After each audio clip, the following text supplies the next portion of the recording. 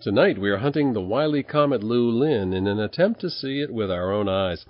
We should be able to catch the radiant glow of its cloud of evaporating water, carbon dioxide, and other trace chemicals that make up your typical comet. Lulin is just passing on the far side of us from the sun and approaching as close as it can to planet Earth on February 24. We usually take tours of the sky like this in a planetarium, like UMaine's Maynard F. Jordan Planetarium, but tonight, with the aid of this little audio tour, you should be able to go out under your own planetarium sky. Step outside your back or front door, and you'll be able to do the same thing there that we do in a planetarium. We will locate just a few stars and constellations and get oriented so that we can see exactly where Lulin is going to be over the next couple of weeks.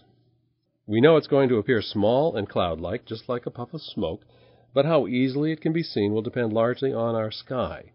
If you can find a nice dark place where there's a minimum of what we call light pollution, far away from city lights, parking lots, street lights, and even house lights, then the sky will be dark.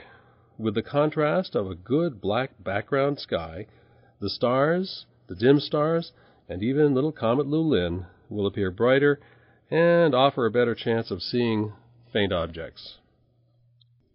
Take this audio guide, download it to your computer, put it onto your iPod, burn a CD for your Walkman, or perhaps you can even play and record it onto a cassette tape if you're still carrying around a portable cassette Walkman. Share it with your friends and encourage them to get out on those clear nights that are available because there aren't many of them. Then step outside to see if the comet is there. Now let's start to look around this night sky. First, we need to get our bearings. The word bearings might suggest we're going to begin looking for bears. And actually, that's just what we will do. Look around the sky, and not too high in one direction or another. You should be able to spot a fairly distinct, large, simple pattern called the Big Dipper. It's actually the brightest part of the Big Bear, Ursa Major. At this time of the year, it is in the north northeastern part of the sky, and it is standing on its handle. At 8:30 at night, in mid-February, you should be able to see seven almost equally bright stars. Four of them will be shaped in a rectangle like a cup. It's about a third of the way up the sky, and hanging down from the lower left corner is a handle made of three stars in a curved line. They seem to be hanging down, pointing toward the ground. In essence, these are medium bright stars, but bright enough to see even in some of the not so dark skies that you might have in suburbia. Once you've found this pattern, you are facing the general direction of north. But we're going to use the stars of the Big Dipper to locate another very important spot in the sky, the direction north. Go all the way up to the front of the Big Dipper cup, the two stars that form the uppermost side of the cup, and we'll use them to find the North Star. In order to use these pointer stars, as they're called, simply draw an imaginary line. You can use your finger for this, and trace a line from the right star past the left star at the front of the cup, and continue that line to the left, crossing the sky until you encounter another star that's just about as bright as the pointer stars. Once you've found that star, you'll notice there aren't many bright stars in the neighborhood. It is one of the brighter, but not the brightest stars in the sky, and that is Polaris, the North Star. Now we are facing the North Star, the star located almost directly above the north pole of the Earth. We know that the direction east is on our right and the direction west is on the left. So turn right, and we are now facing the direction where we can see Lulin. It's going to be fairly low in the sky, but day by day it will be higher and higher as it moves along its orbit against the background stars. The Big Dipper and the North Star are now on our left. Look a little ways up the sky, and maybe a quarter of the way up the sky, see if you can spot a yellowish, bright star. It's the brightest object in that area. I have to confess, I have lied to you because this yellow star is not in fact a star, but the ringed planet Saturn, a neighbor of ours in the solar system. If you have a fairly sensitive color vision, you can detect that it is yellowish as compared to the other stars in the sky, but it does depend on your vision. It's different for different people, and you can judge for yourself whether or not you see any straw or yellow coloring to Saturn. It'll be more obvious in the darker skies. And it will be the brightest star in this part of the sky, or the brightest dot of light in this part of the sky. Once you have found Saturn, you're on the track of the comet, because Lulin on the 23rd and 24th of February, in particular, is very close to the ringed planet. And Saturn becomes a guide for us. But if you now look higher up in the sky and slightly to the right, you come across another fairly bright star that is much lighter or even blue white, and the comet will be passing close to that star on the 27th. This really is a star in this case, a star called Regulus.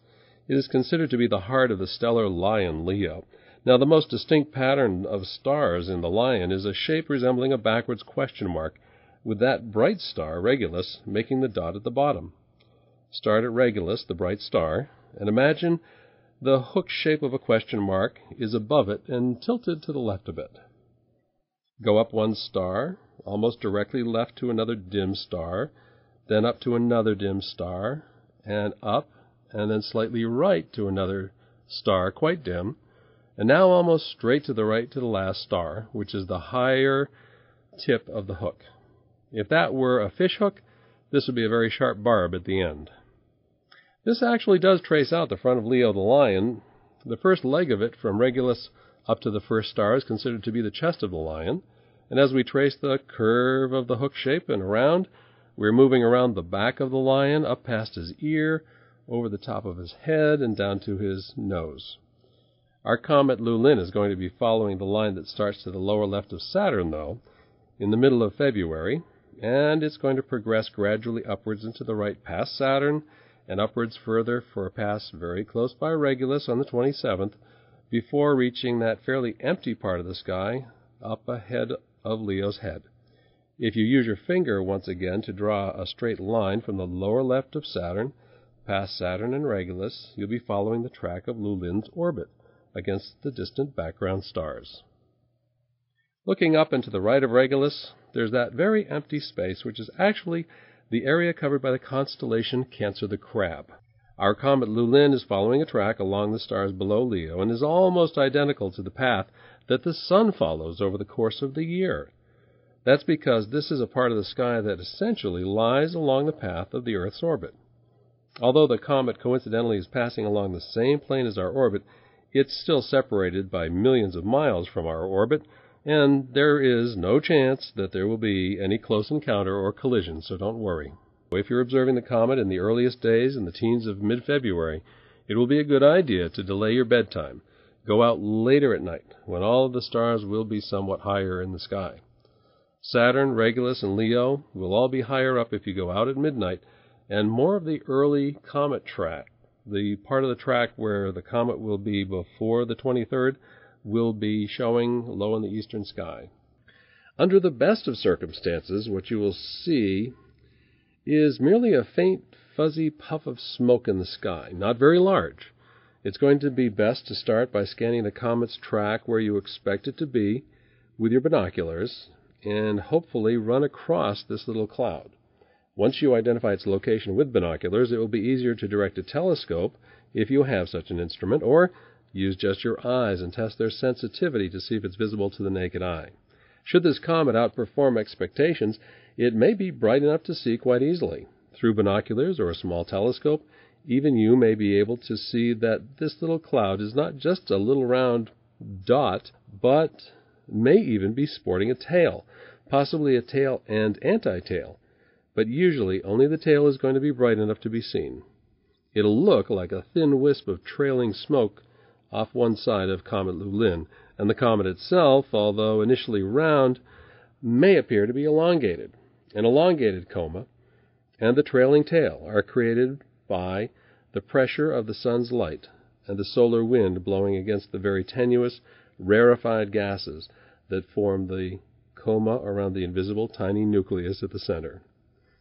Comet Lulin on the 24th is at its closest, as we said before, so it will appear largest and brightest at this time for those of us on Earth. It is actually an exceptional comet not only for the plane of its orbit being similar to the Earth's, but also because it's putting on a good show for us while performing its swan song. This comet is following a hyperbolic orbit, which means that it will not be orbiting the sun and returning in some number of years later on a regular cycle. Lulin's on a trajectory that will take it out of the solar system, never to return. It is going to exceed the speed required to escape the sun's gravity. So this is a comet that you cannot share with generations to come, except as a story of how you braved an extremely cold night or two in search of a wily comet. So keep warm, best of luck, and happy comet hunting.